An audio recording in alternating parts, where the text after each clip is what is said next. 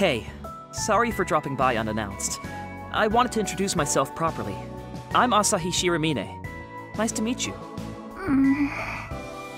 Um. May I ask what your name is?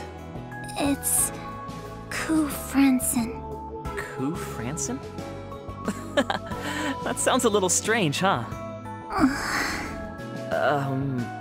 Is it alright to call you Coo? What kind of things do you like? Amal. He's my other half. I see. You two get along well, huh? If the introduction's finished, can we end this conversation?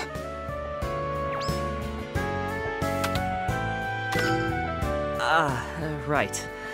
I'll take my leave now. Uh, thanks again for rescuing me today. Thanks?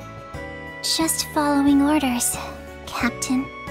I know, but it's still appreciated. I hope we'll get to know each other better. I look forward to working with you, Coo.